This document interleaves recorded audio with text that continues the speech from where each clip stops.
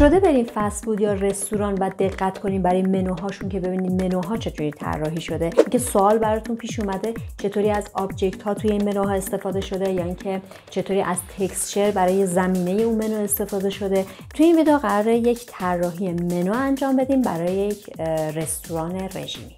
بریم نرم افزار فتوشاپ رو باز می‌کنیم. control N رو می‌زنم و یه دونه new document می‌خوام داشته باشیم. من اینجا می‌نویسم وگان food یعنی منویی که می‌خوایم طراحی بکنیم برای یک منو وگان و رژیمی هست. یعنی غذای وگانی هست.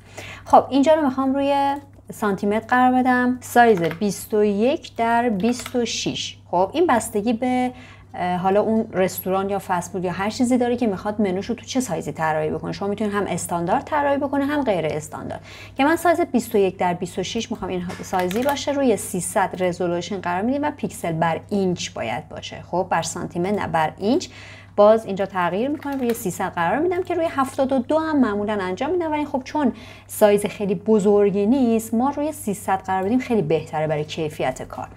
خب color mode رو روی CM قرار میدیم چون قراره چاپ بشه رنگش رو کاری نداریم سفید می‌ذاریم باشه و خب artboard م نیاز نداریم. من چون صفحه اول رو می‌خوام طراحی بکنم و ما بقیه صفحات رو شما می‌تونید طبق همین طراحی برین جلو. خب نیاز نیست من بخوام مثلا 5 تا صفحه داره 10 تا صفحه داره و من بخوام همه رو انجام بدم چون وقت ویدیو گرفته میشه. خب کرییت رو می‌زنم. ما توی منو مثل بقیه کارا حتما باید از چهار طرف فاصله بذاریم. من میام این قسمت بر حسب سانتی مترش باید بکنم بر حسب پیکسل بود. بر حسب سانتی متر مثلا یک سانت یا یک و نیم سانت شما می‌تونید فاصله بذارید من حالا روی یک سانت قرارش میدم. و حالا باز هم ما با اینکه داریم روی یک سانت قرار میدیم بازم از داخل یکم فاصله می‌ذاریم برای cut حتما خطای برش رو رعایت بکنیم. ما نیاز به background داریم. توی ابزارها rectangle رو انتخاب می‌کنم. یه دونه rectangle به این شکل اینجا می‌کشم stroke ش رو none می‌کنم. من به صورت حالا پیشفرض خودش stroke رو میده. حالا رنگ background ی رو شما هر رنگی که دوست دارین طبق نظر حالا کارفرماتون می‌تونید تغییرش بدین. روش double click می‌کنم. من می‌خوام یک رنگ بنفش تیره باشه. از gradient هم می‌خوام استفاده بکنم. تو طراحی هایی که قراره چاپ بشه حتما شما اینجا کد بدین خیلی مطمئنتره و استاندارده. و تا می‌تونین از مشکی استفاده نکنین مگر اینکه حالا یک مشکی توی طرحتون غالب باشه. می‌تونین حالا از 10 درصد 10 درصد 20 درصد یا مثلا background کاملا مشکی باشه می‌تونین از مشکی استفاده کنین. من میام بنفشم رو توی این سه رنگ اول یعنی CMY درش میارم. پس میام C رو روی 80 قرار میدم M رو روی 100 قرار میدم و Y رو روی 90 قرار میدم و K رو هم صفر می‌کنم. یه همچین رنگی می‌خوام داشته باشم. OK رو می‌زنم. من می‌خوام gradient بهش بدم. پس میام تو قسمت ابزارها. gradient رو انتخاب می‌کنم. شما هم می‌تونید روی rectangle double click بکنید و gradient رو بزنید هم می‌تونید از قسمت پایین adjustment ها gradient رو روش کلیک بکنیم. هم به محض اینکه توی ابزارها gradient رو انتخاب کنید و بکشین روی کارتون gradient اینجا بالای rectangle تشکیل میشه.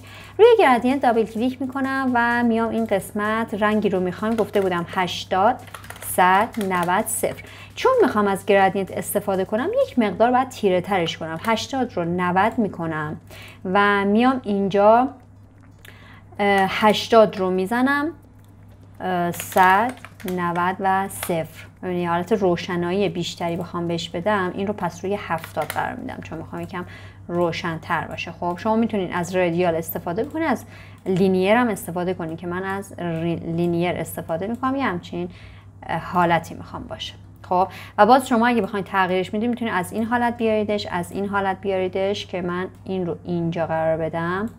خب خوبه. حالا من میام توی folder م یه سری عکس ها رو دانلود کردم. من نیاز به texture دارم. این texture رو می‌خوام داشته باشم. می‌کشم میارمش اینجا. البته توی Illustrator باز میشه.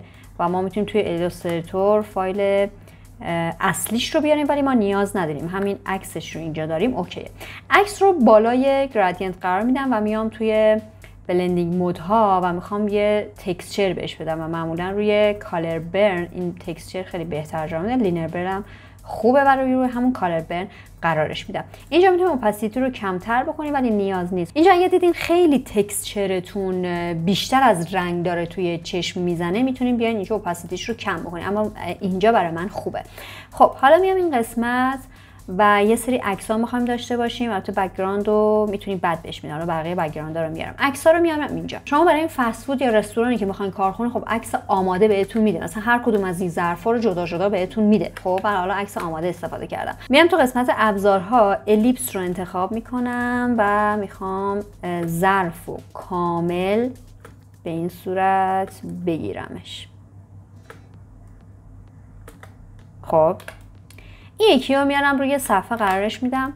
سایزش رو کوچیک می‌کنم این رو اینجا قرار میدم دوباره میام اینجا و همه رو دونه دونه می‌گیرم. البته شما می‌تونید اگه دقیقا یک سایز می‌خوایم باشه به جای اینکه دوباره بیاین الیپس رو انتخاب کنید دایره این یکی حالا بشقاب رو بگیرین روی خود ellipse کلیک می‌کنید ببینید شکل فلش میشه و همین رو می‌زنید روی این یکی خب؟ که دقیقا می‌خواین همون سایز در بیاد.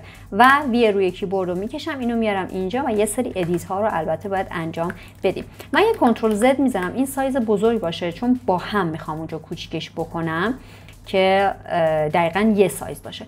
دوباره میام این قسمت اینو میارم روی این یکی قرار میدم و این رو هم میارم اینجا.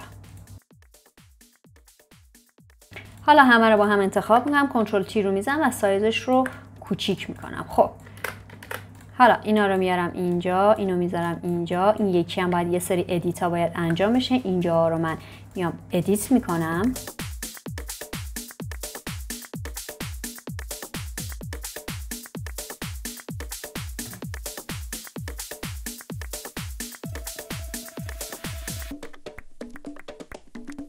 خب این قسمت ها هم edit ش کردم. من حالا اینا رو با این یکی باید لایه‌ش رو با همین یکی بکنم. الان OK. خب من این رو اینجا قرارش میدم این رو اینجا قرار میدم و این رو, رو هم اینجا قرار میدم.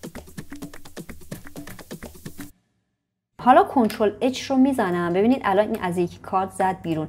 نباید از کارت بزنه بیرون. خب پس سایزش رو یک مقدار دیگه کوچیک‌تر. ببینید من دارم خیلی سایز اینا رو کوچیک بزرگ می‌کنم. احتمال اینکه کیفیتش از دست بده هست.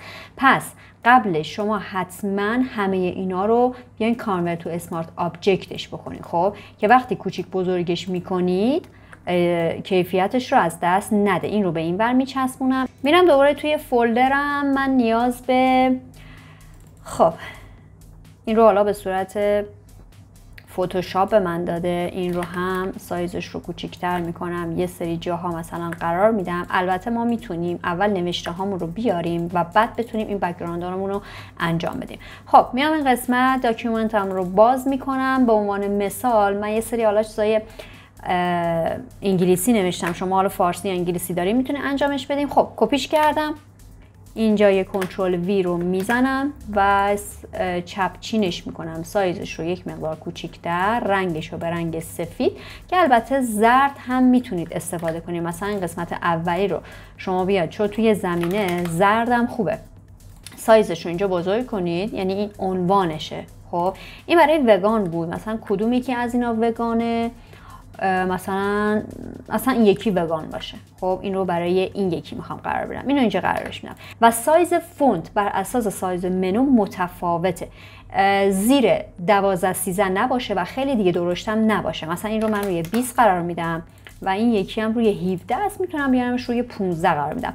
و ادامش رو حالا من از همینجا می‌زنم میارمش پایین و ادامش رو هم پایین قرار میدم و آخرش هم یه دونه نقطه قرار میدم. خب نقطه باز دوباره رفت سمت چپ قرار گرفت. برای اینکه درستش بکنیم اینجا اینجا. خب روی عربی درسته؟ پس میام اینجا درستش می‌کنم. ببینید الان نوشته اومد نقطه اومد اینجا قرار گرفت. خب این به عنوان نوشته این یکی وگانه مثلا. برای بعدی حالت سبزیجات داره یا گارلیک داره. اینجا یه پیستش می‌کنیم.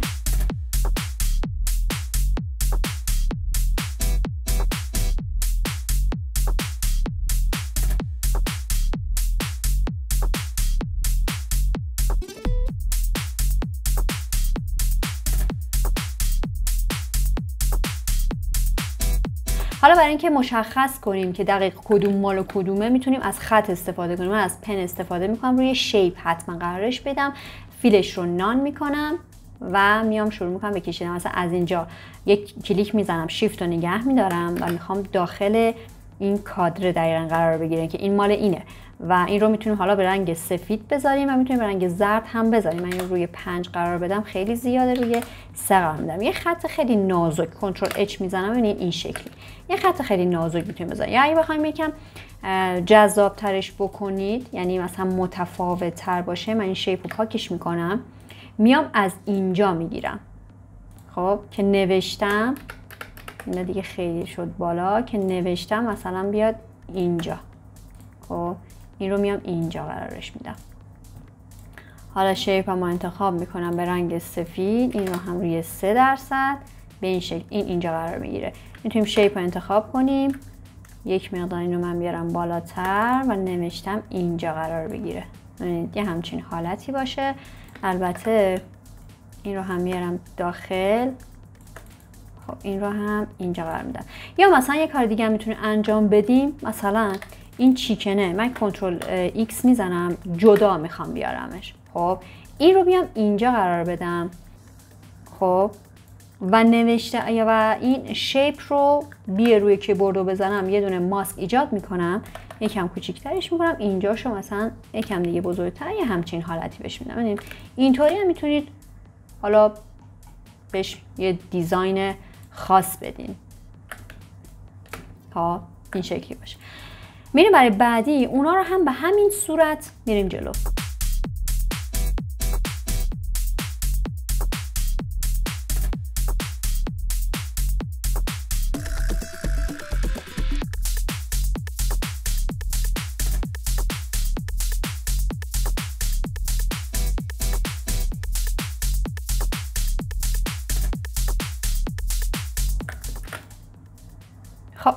حالا دوباره میام این قسمت این گوجه به خاطر background زردش نمی‌خوام. این یکی رو میارم اینجا و شما باید یه عکسایی رو انتخاب بکنین که حداقل اگه background داره یه background ی انتخاب کنین که بتونید با رنگ با background زیری match بکنید مثلا الان روی multiply قرار میدم یعنی الان خب این باش match شده. درسته توی نوشته اومده و ما می‌تونیم اینجا بیاریمش بندازیمش زیر نوشته. این بالای بالا قرار گرفته. خب میارمش پایین و میام خب اینو حتی میایم زیر texture قبلی قرار میدیم می‌بینید؟ به این شکل. یه سری جا اینجا می‌بینید خطش میفته پس ماسکش می‌کنم B روی کیبورد رو می‌زنم و میام حالت blur رو انتخاب می‌کنم. سایز blur م هم سایز brush م هم بزرگتر می‌کنم و اینجاها رو حذف می‌کنم. اگه بخواین خیلی راحتتر انجامش بدین می‌تونید این رو بردارین که ببینید یعنی texture قبلی رو بردارین که ببینید کجا اون کادره وجود داره که بتونیم پاکش بکنیم اینطوری. ببینید الان بذارمش الان خیلی بهتر میام دوباره اینجا روی این برگر رو می‌خوام. یعنی این حالت سبزیجات رو می‌خوام داشته باشم. دوباره میارمش اینجا.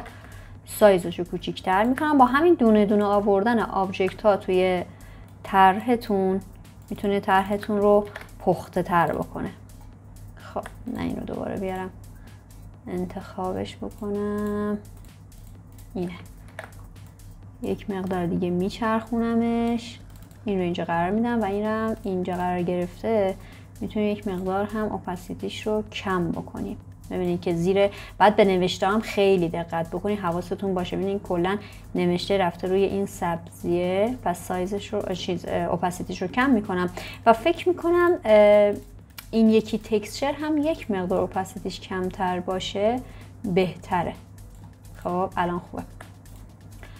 خب دوباره object رو البته این رو می‌خوام. این رو یه Control J می‌زنم یه group یه کپی دیگه ازش می‌گیرم و این رو میام یه جای دیگه مثلا اینجا قرارش میدم.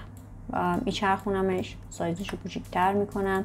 این مثلا از این ور بوده باشه. نبینید حتی شما از خود کجاست؟ این گوجه. خود این هم می‌تونید یه دونه کپی بگیریم و این رو مثلا اینجا یک مقدار کوچیکتر بچرخونیدش و این رو مثلا اینجا قرارش بدیم. خب این رو یک مقدار کوچیکتر می‌کنم ببینید برای اینکه خیلی واضح تر باشه همه اینا باید سایه بهشون بدیم. از این دوباره یه کپی می‌گیرم سایزش رو بزرگتر می‌کنم. اینو مثلا به عنوان مثلا اینجا می‌تونیم یکم بلارش هم بکنیم. حالا یکم متفاوت باشه بلارش خیلی زیاده. یعنی یه همچین حالتی هم می‌تونید برای این قسمت بهش بدین که شما توی موشنا یه همچین چیزی رو دیدین که حالت بلار مانند داره. خب کنترل اچ رو می‌زنم. الان اینجا دقت کنین. اگر این قسمت یعنی طرحمون بره توی کادر مهم نیست. مگر اینکه طرح جزی از تصویر باشه جزی از طراحیتون باشه.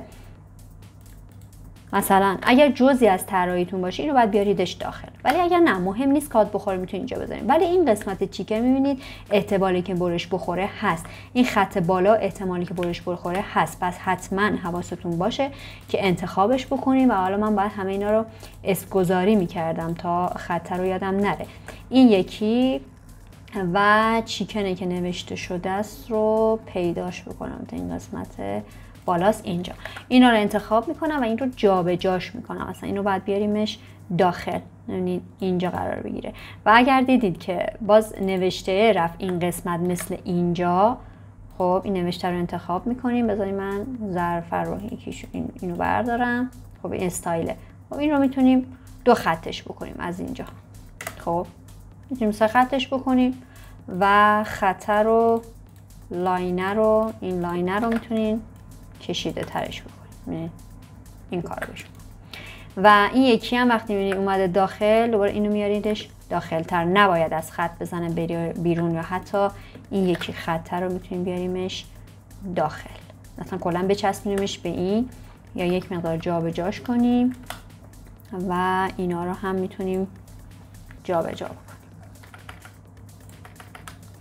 خب حواستون خیلی به این خطا باشه. عزیزان وقتی شما یه سری تصویرهای واقعی رو جدا می‌کنید و میارین وارد یه background می‌کنید background ی که مخصوصا اگر ساده باشه باید حتما یه سایه‌ای بهش بدین. یعنی یک drop shadow ی باید بهش بدین. حالا اینجا از texture استفاده شده ولی سایه باعث میشه که اون طرح اون کار پخته تر بشه و هر کدوم از object هایی که میارین یه سری حالا چون توی فتوشاپ هم دارین کار می‌کنین افکت ها روش بدین خیلی می‌تونه کارو جذابتر و حرفه‌ای تر نشون بده کارتون رو. یه لینک اینجا بالا براتون می‌ذارم. playlist پروژه های فتوشاپ هست. شما می‌تونید اگه که صفر تا صد فتوشاپ رو دیده باشین و یاد گرفته باشین ابزارها ابزارها رو می‌تونید این playlist رو هم ببینید که پروژه توش آموزش داده شده و شما می‌تونید توسط این پروژه ها خیلی حرفه‌ای تر بشین. ادامه ویدیو رو ببینید خب حالا می‌خوام سایه بدم. این اولی رو انتخاب می‌کنم روش double click می‌کنم میام این قسمت drop shadow ش می بهش میدیم. drop shadow رو گفته بودم قبلا از background رنگ تیره می‌گیرید و میایم این قسمت تیره ترش می‌کنیم. اصلا بیاد پایین تر. حالا مشکی مشکی هم نباشه. خب اینجا هم که تنظیماتشه. تنظیماتش رو می‌تونید تیره یا روشن بکنید می‌تونید فاصله بهش بدیم اوپاسیتی اینجا می‌تونید کم و زیاد بکنید خب این ولی به نظرم مشکی باشه. نه مشکی خیلی دیگه. به این شکل میرم یکم سایزش رو بیشتر کنیم و پسیدیش رو اینجا کمتر بکنیم حتی از اوتر گلو هم می‌تونید استفاده کنید. ولی خب من اینجا نمی‌خوام استفاده کنم ازش. اگر بخواید دقیقا سایه این بشقا با بقیه یکی باشه آلتو پایین نگه میدین دراپ شادو رو کپی می‌کنین روی بقیه. ببینید من آلتو پایین نگه داشتم ولش هم نکردم تا روی بقیه همونطوری اعمال بشه. برای این یکی هم که این پایین قرار گرفته این رو هم می‌تونیم روش دابل کلیک کنیم دراپ شادو هم به این بدیم. یک مقدار فکر می‌کنم تیره تر باشه بهتر ببینید این حالتی. و فکر می‌کنم هنوز اینا هم بیاد تا آخر. کنترل اچ رو می‌زنم. ببینید به این راحتی می‌تونید یه دونه منو طراحی کنید و صفحات بعدی رو هم طبق همین صفحه می‌تونید انجام بدید